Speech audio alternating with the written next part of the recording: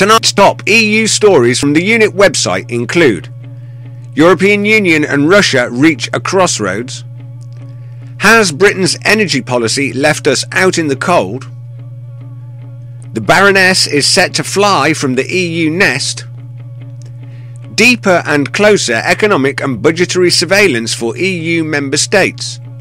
Plus, UK border agency needs a backlog bailout on immigration. I'm Rick Timmis, and this is the Unit Nightly News.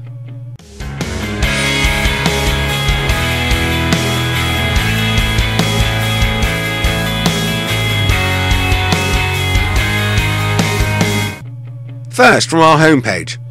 Given the EU, ECB, and IMF troika just attempted to pick the pockets of Mr. Putin's most wealthy and influential citizens via the Cypriot bank job, it comes perhaps as little surprise that the EU finds itself at a crossroads with Russia. Where I'm from, such action would have resulted in you kneeling on the floor trying to pick up your teeth from the gutter. However, in this article, we take a look at the strategic partnership that Russia and the EU are compelled to pursue. Well, the timing couldn't be more pertinent, as the cold weather, nigh Arctic weather conditions continue to grip our island nation, a realisation has come about. We're about to plunge the UK into an energy production deficit, leaving us unable to provide enough energy to fend off the cold in the future. This article considers the political obsession with CO2, aka carbon, and informs us that currently we have only 48 hours of stored gas left to keep us warm.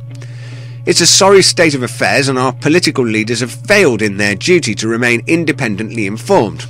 It's shocking that despite vast amounts of contradictory evidence that disputes the role of carbon as the main factor for climate change, still our politbureaucrats have pursued verbatim the United Nations Agenda 21.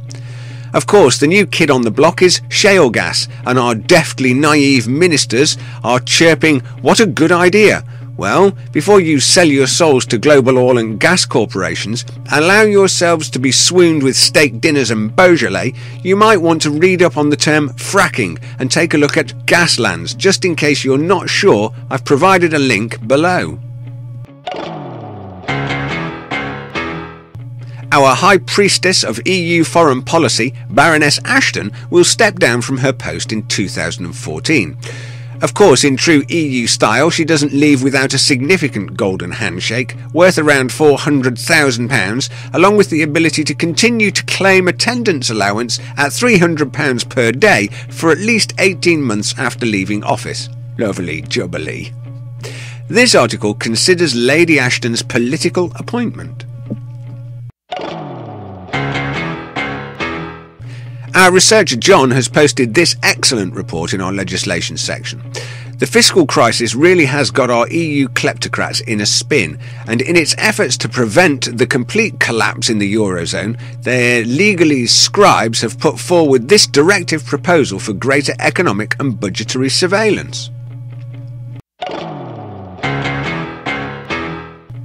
UK border controls have clearly completely lost control. In this article, we discover that a backlog of immigration applications as big as the population of Iceland will take 24 years to clear at the rate the shambolic UK border agency is working. Despite granting an effective amnesty to 96,000 immigrants, the total number of files sitting on immigration officers' desks has fallen by just 3,500.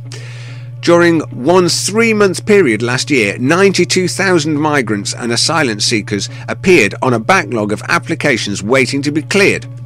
The bottom line, at the current processing rate, completion of the backlog will take until 2037. Today in our video library, I was saddened to hear news of the death of Margaret Thatcher.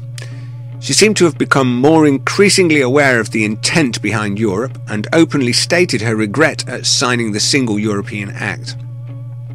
In this video from 1990, she accurately identified the intention for a federal European superstate brought about through financial integration via the creation of a European central bank, the one we now call the ECB.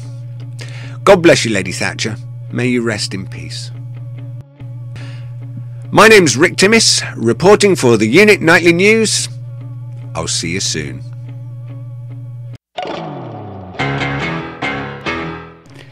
You can get lots more news stories and information on our website, theunit.com. You can get in touch with us there, and we particularly welcome your letters and points of view. You can follow us on Twitter. Our Twitter username is the E Unit. Remember to subscribe to our YouTube channel for all of our regular updates. You can join me and the rest of the team for interactive discussion and debate on Google Plus at any time. Are you looking for a public speaker for your event? Our public speakers are happy to come and discuss Britain's relationship with the EU in your area at no cost. If you would like to add interest and value to your group event, then get in touch with us via the words section of our website. Join us in our live question time style online show, The Unit Interactive, broadcast live on our website, theunit.com, and globally via thehangoutshow.com. Join our community on Google Plus and you can be part of the wider public voice, united in freedom, liberty and independence. Simply join our community, the unit on Google Plus. Links to the community page are below.